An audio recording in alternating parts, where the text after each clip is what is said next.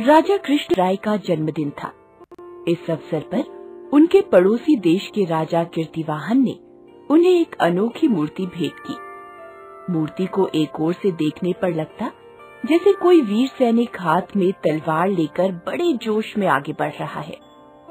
दूसरी ओर से देखने पर लगता था कि जैसे कोई तेजस्वी साधु बाबा मुस्कुराते हुए हाथ में दिया लिए खड़े हैं।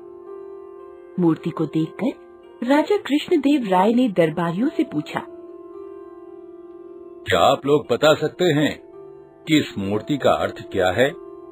इस पर सेनापति ने कहा महाराज मुझे तो लगता है कीर्ति वाहन ने तलवार लिए सैनिक की मूर्ति भेजकर आपको युद्ध के लिए ललकारा है।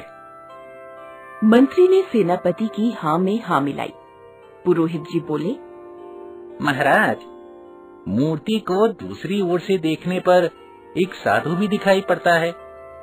कीर्ति वाहन ने व्यंग किया है कि या तो आप उनसे युद्ध लड़ें या फिर राज्य छोड़कर सन्यासी हो जाएँ। इसी प्रकार अन्य दरबारी भी अपनी राय देने लगे। पर राजा कृष्णदेव राय को किसी की बात जची नहीं। वे तेनालीराम की ओर देखकर बोले आपने कुछ नहीं बताया? क्यों?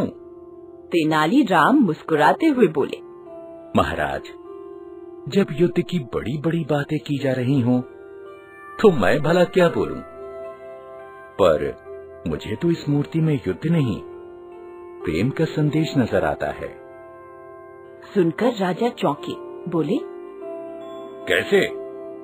यह तो आपको बताना पड़ेगा। तेनालीराम बोले महाराज मंत्री जी और सेनापति जी ने तलवार तो देखी, पर भूल गए कि तलवार के साथ दिया भी है। कीर्ति वाहन आपके मित्र हैं और आपके जन्मदिन पर उन्होंने उपहार भेजा है। मुझे तो लगता है कि उन्होंने यह बतलाना चाहा है कि आपके दिल में अपनी प्रजा के लिए दिए की तरह सच्चा प्रेम है। पर साथ ही ज़रूरत पड़ने पर आप किसी बाहुबली की तरह हाथ में तलवार लेकर प्रजा की रक्षा भी करते हैं। ऐसे में मेरा मानना है कि यह अनोखी मूर्ति भेजकर उन्होंने आपका सम्मान बढ़ाया है। यह सुनकर राजा कृष्णदेव राय ने तेनाली राम को गले से लगा लिया।